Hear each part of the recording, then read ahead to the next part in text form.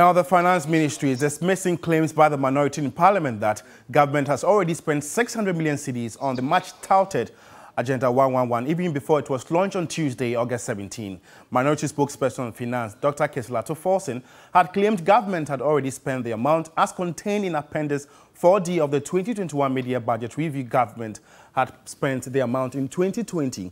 But in a statement, the ministry said the amount has been released into the project account at the Bank of Ghana, adding government expects to draw down various amounts from the account, which would be managed by the Ghana Infrastructure Investment Fund GIF. The money was first released to the Health Infrastructure account at the Bank of Ghana to support the implementation of the district and regional hospital projects back in 2020. The ministry said the amount will be disbursed to contractors in accordance with the project work plan.